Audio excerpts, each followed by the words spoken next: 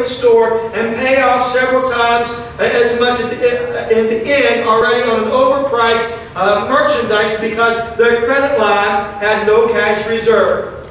They bought top of the line clothing and housewares to give as gifts in order to keep up the appearance, but confessed that they would never be able to afford to pay off these things for themselves. As a cashier, I knew before they got to the register which customers would use charge on their purchases. They were the ones with the tired, sad expressions, the ones who were obviously not enjoying the holiday season or anything else. I felt guilty suggesting purchases. The staff I trained at the store was instructed to suggest the highest uh, uh priced options and sell by pushing low payments while never divulging the number of payments. And putting up this selection on their credit card account, I knew I was making their lives worse. I even felt bad giving discounts to entice first-time credit card buyers because I knew the merchandise they were buying would not last as long as the payments. The giddy look on newlyweds' faces when they first discovered they had more buying power than cash looked uh, sickeningly familiar. That was bad news. The good news is, for the first time in years, I made up my mind to get off the merry-go-round forever. I am now going in the opposite direction, out of the hole instead of deeper in. Since the beginning of the year, I have devised and stuck with a two-year financial recovery plan. And I'm beginning to see real results. Ironically, I'm beginning to feel the same things I felt years ago when I first got my credit card. Power, in charge, secured, and prepared for emergencies. Only this time, it's based on reality. Pretty interesting, isn't it? I think that uh, as we look at that lady's story, um, it's interesting to see that um, there are some bad habits that's there. And it doesn't make someone a bad person if they follow bad habits. Because you know what? Every one of us have fallen into a bad habit. But the thing of it is, is that uh, we need to realize that there can be that sense of unhappiness sense of not being in control, in control it, that sense of being bound because of financial restrictions. And we're much like Esau. In a moment, we find ourselves feeling appeased, but in a lifetime, we find ourselves feeling trapped and thinking, why did I do that? I want to share a few things this evening. Uh, there are some that will uh, be bound really in a position where they will be in debt forever. You know, uh, debt can be a terrible thing. And uh, I want to look at some credit card companies and what they do. And, uh, uh, you know, you may feel that somehow that person with that credit card, and I've seen young people particularly, um, I see them, you know, they're coming out of college or coming out of Bible school, they're coming and they're starting, and it's tough, it's a struggle. And our society teaches us. I remember my mom and dad saying this a lot. You know, um, you know, we didn't get what we have overnight. It took, took us our lives to work for this. Um, but the younger generation wants today what took mom and dad a lifetime and years to achieve. And so that is kind of the ideology that is promoted and pushed. But with that, you're thinking, oh, there's, there's this freedom of having these nice things and these commodities and, and the comfortableness of life. But they find that just as quick as it came, it quickly goes, and they're left with just the opposite feeling.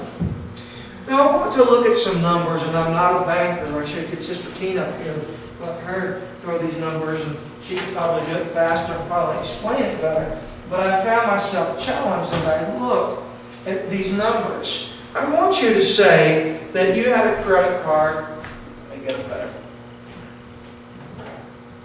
Credit card with a balance of $2,000.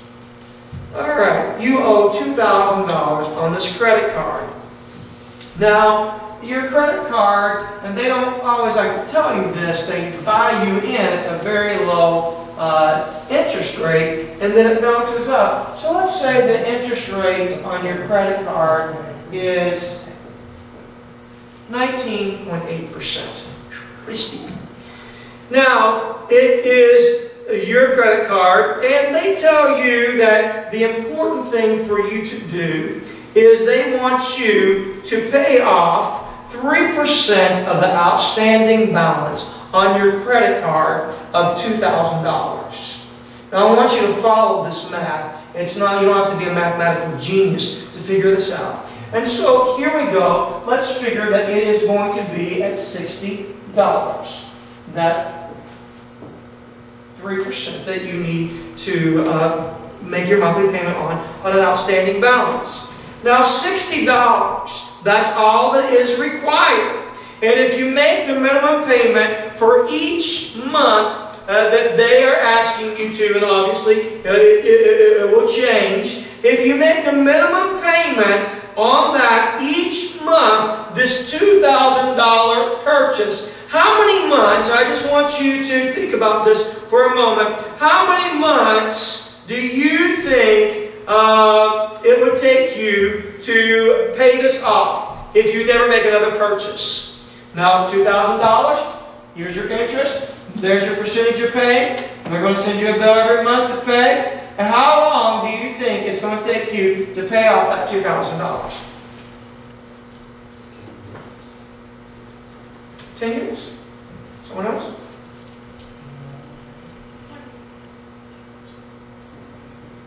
Well, Sister Ashley, you about hit it right.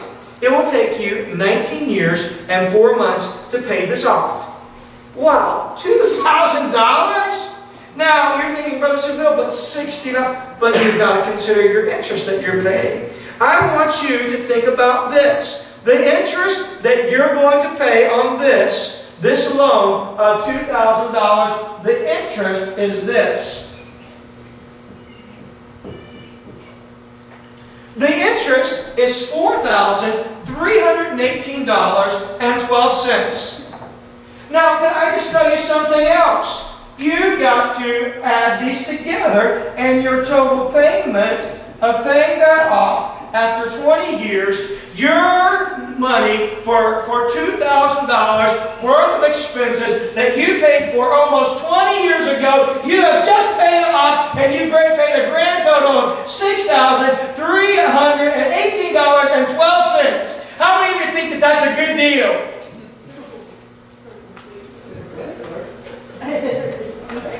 The credit card company is smiling. And someone's probably even laughing. while you're crying.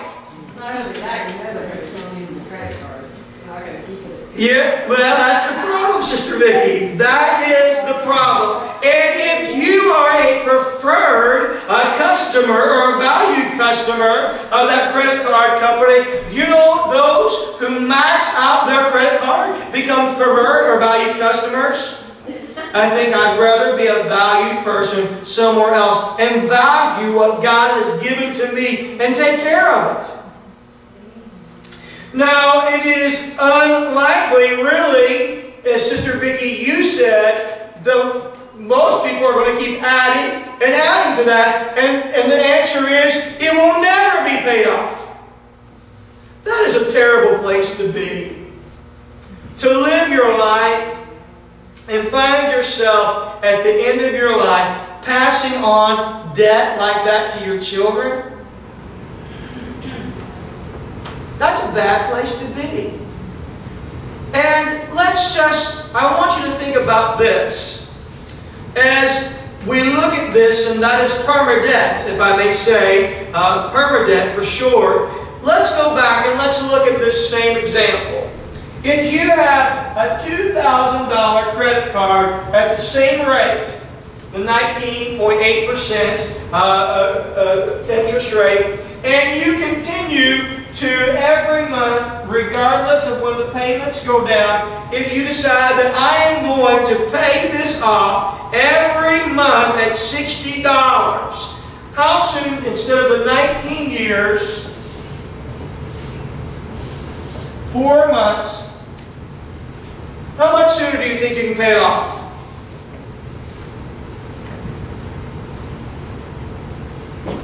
Still keep it at sixty dollars? If you keep it at $60, even when your payment goes down lower. Because after a period of time, you pay on it, you're not adding to it, you're going to drop your payment down lower. Well, I'll tell you the answer. The answer is going to be 48 months. 49, uh, 49 months, really. Uh, and so let's look at it this way.